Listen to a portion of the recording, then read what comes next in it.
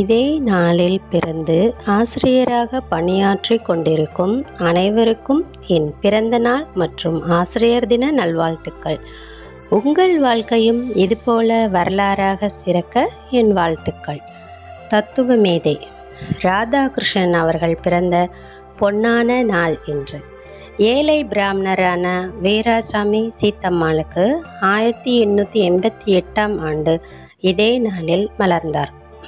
நல்ல ஆசிரியர் குடியரசுத் தலைவராக கூட உயரலாம் என எடுத்துக்காட்டாகவும் ஆசிரியர் என்பவர் மற்றவரை உயர்த்த மட்டுமல்ல தானும் உயரலாம் என உயர்ந்தவர். வாங்க அவங்க வாழ்க்கைக்குள்ள போய் பார்க்கலாம்.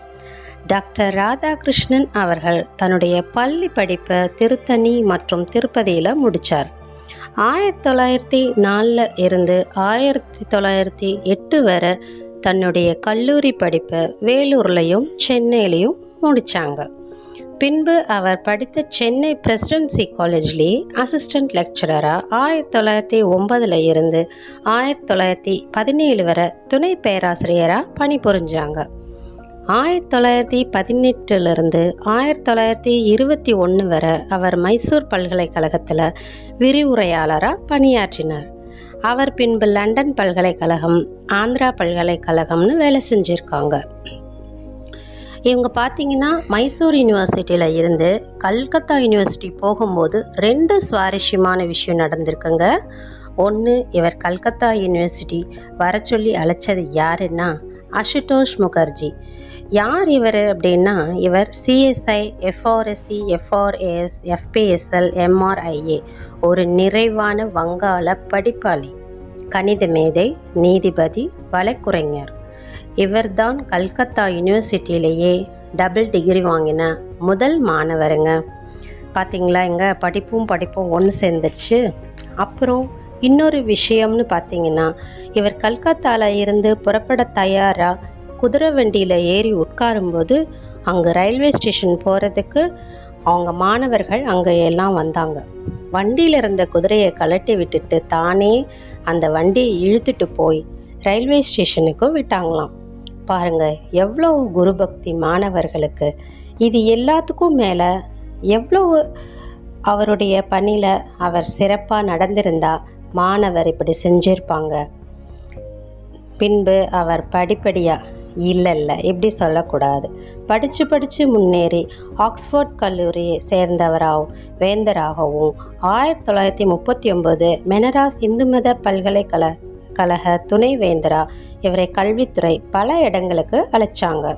இவர் பதினேழு முறை டாக்டர் பட்டம் வாங்கியிருக்கார். மிகச்சிறந்த கல்வியாளராகவும் சிந்தனையாளராகவும் போற்றின மக்கள் இவங்களை ஆயிரத்தி தொள்ளாயிரத்தி ஐம்பத்தி ரெண்டில் இந்தியாவின் முதல் துணைத் தலைவர் ஆனார். ஆயிரத்தி தொள்ளாயிரத்தி ஐம்பத்தி நாலில் பாரத ரத்னா விருதும் வழங்கப்பட்டது. ஆயிரத்தி தொள்ளாயிரத்தி அறுபத்தி ரெண்டில் இருந்து ஆயிரத்தி தொள்ளாயிரத்தி அறுபத்தி ஏழு வரை இவர் இந்திய குடியரசுத் தலைவராக இருந்தாருங்க.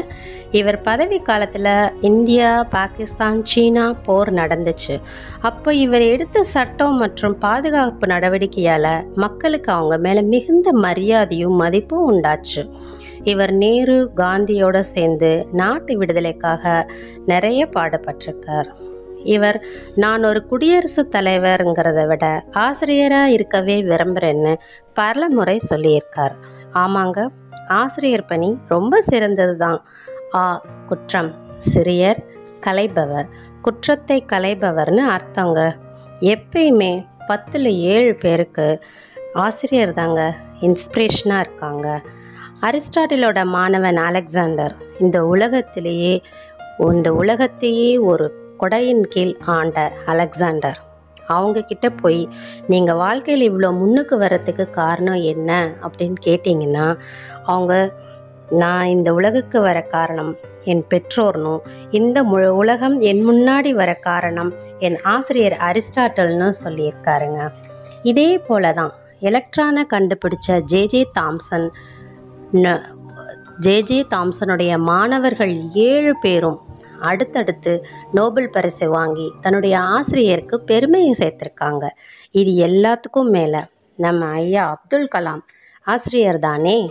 அவர் வாழ்ந்த காலத்தில் நாமும் வாழ்ந்திருக்கோம்னு நினச்சாலே ரொம்ப பெருமைங்க. நீங்கள் பேராசிரியராக இருக்கிறது முக்கியம் இல்லைங்க. மாணவர்களுக்கு பெருமை சேர்க்கக்கூடிய ஆசிரியராக இருக்கணும். இப்போ கருவறை விட்டு வந்த உடனே வகுப்பறதானுங்கிற நிலைமை. தாயோட அரவணைப்பிலும் ஆசிரியரோட கண்டிப்பிலும் வளரும் குழந்தை நிச்சயம் ஒரு நல்ல குடிமகனாக தான் வருவாங்க. கற்றோருக்கு மட்டும் இல்லைங்க. கற்பிப்போருக்கும் செல்லும் இடமெல்லாம் சிறப்புங்க. அந்த மாதிரியான ஆசிரியராக நீங்கள் இருந்தீங்கன்னா தினம் தினம் உங்களை கொண்டாடுவாங்க.